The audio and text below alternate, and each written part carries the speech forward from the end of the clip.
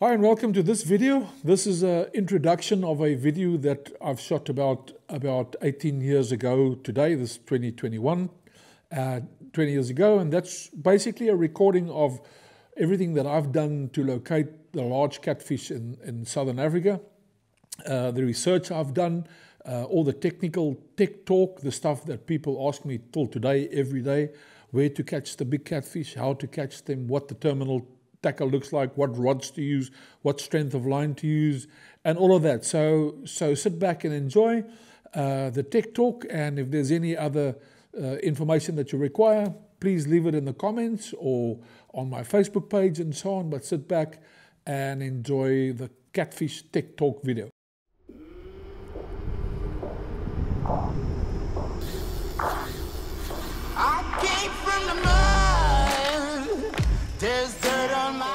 For almost three decades, I've been photographing and fishing South Africa's beautiful and wild places. Me and my boys have been doing fishing films and capturing wildlife and landscape photographs for about the same time. Captain, you've hooked the left!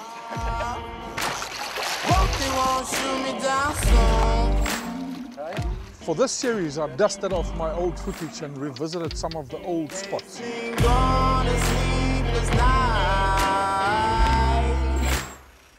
To catch me howling at the moon.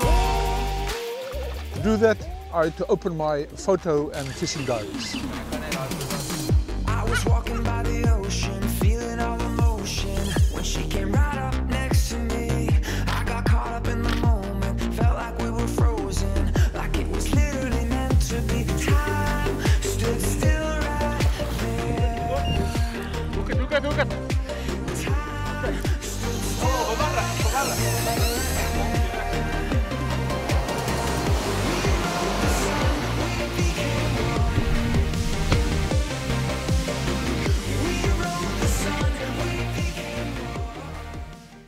Concentrate on this video in uh, catching the large catfish or the specimen catfish, um, what they call.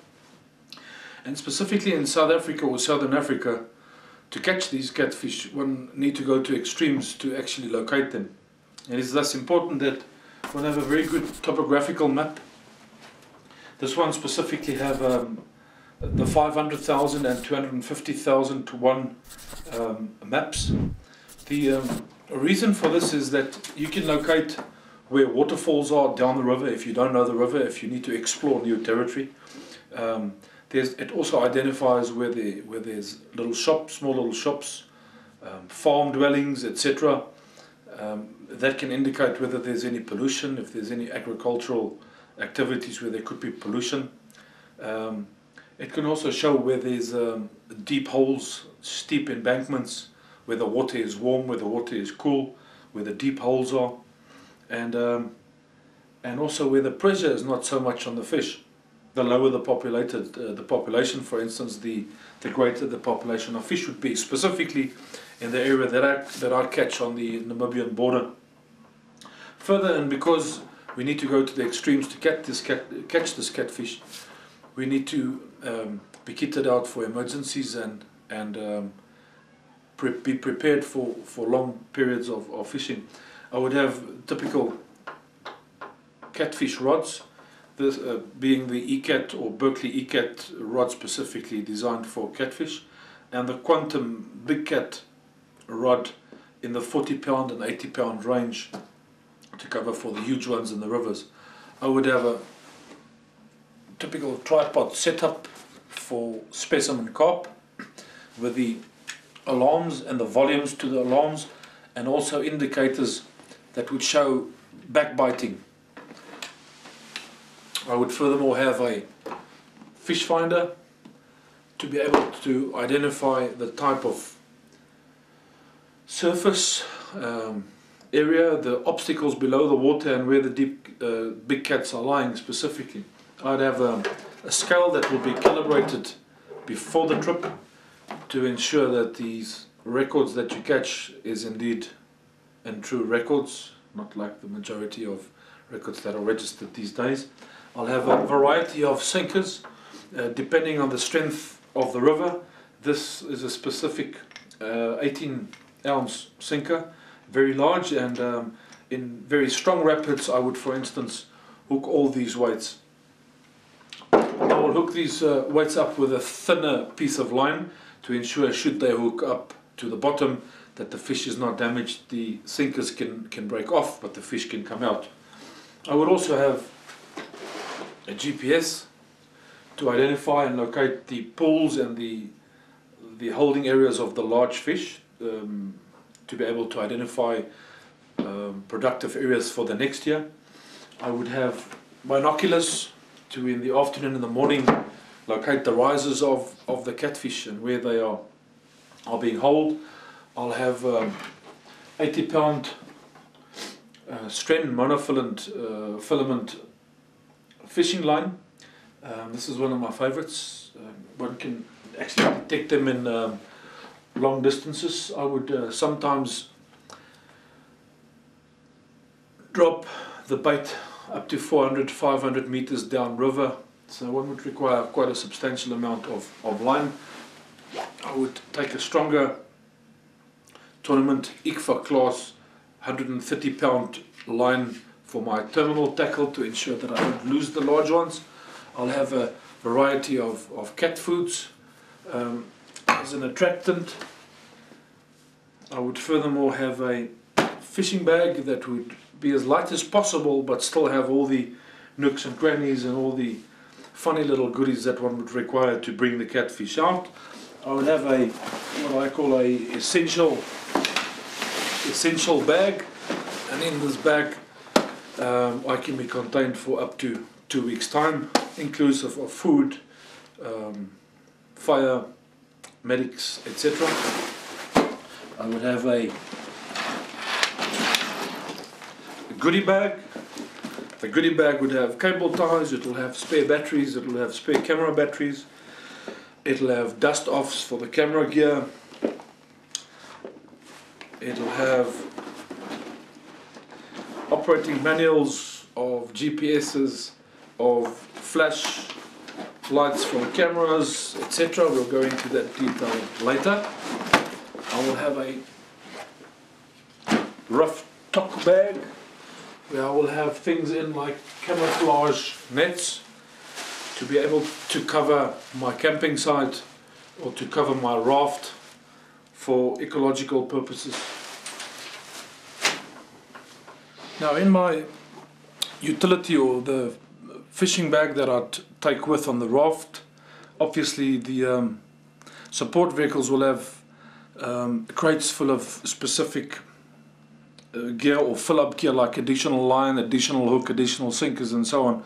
But the bag um, I will keep with me on the raft or and on each raft would be um, would be would have um, would of, of this size typical bass bag it'll have a small container that would have a few hooks a few of the necessities to be able to um, quickly change, um, for instance, circle hooks, number 12 circle hooks, which we use quite a lot, a variety of beads, color beads, um, for instance, the rubber bead, the typical specimen carp rubber bead would be to protect um, the knots against abrasion from the sinkers and so on.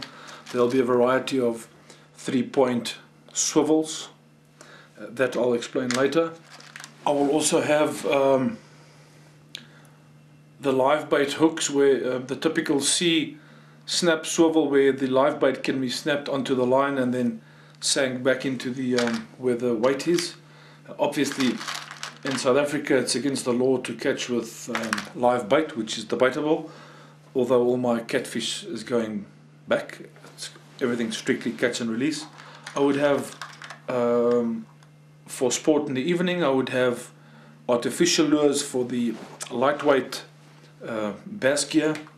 I would have um, the big Tiger Mepps spinners in the shallows or in the rapids.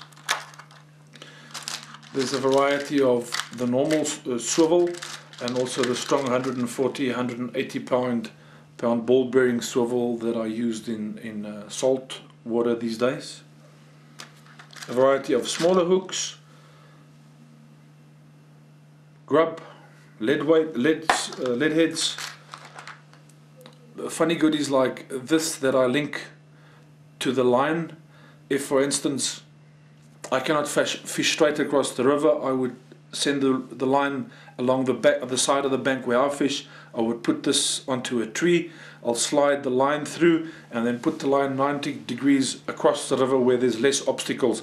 I would then fight the fish, not back over the obstacles, but straight away towards this swivel, say about 200 meters on my side of the bank, and then run towards the fish and unclip the the um, the goodie. And uh, I don't quite know what they use this for. In any case, piece of engineering equipment. There's a normal rattle grub used for um, for bass that we use very successfully for the smaller cats. Um, we do ones like these with um, guinea fowl feathers that are quite large with 12.0 and 15.0 weight um, um, um, hooks. Pieces of line string to tie the reels or the rods to the to the um, tripods or to the trees and then the rods to the the reels to the rods and then a variety of, of hooks. This would be a small, a typical small box or support box or uh, that would go on one of the one of the rafts that would go from the main camp across the river to fish for say an hour or two. I would have the normal floats to um, catch either the small cats or just to indicate what's happening on the line. The bait will lie straight down. This would lie 90 degrees up on the surface. It's not uh, it actually just indicates where the where the bait is lying because this will also flow down river. If you're sitting on that side, it will flow down river and it'll stay on top of the of the bait. So showing you any movement, uh, finer movement that you can't detect because the line is 500, 600 meters away from the tripod. There's a variety of the the typical gear that that used for carp, for instance, the lead lead wire comes in handy where there's also crabs and uh, crabs and um, anything that could damage the line at the terminal side of the tackle. Typical lead core wire, strong that lies on the bottom. A variety of um, small little split shot sinkers. There's also the um, shrink tube, heat shrink tube that we use to protect the um, knots and so on, rubber beads. There's also the typical lead weight putty that we use, the same as the specimen carp guys.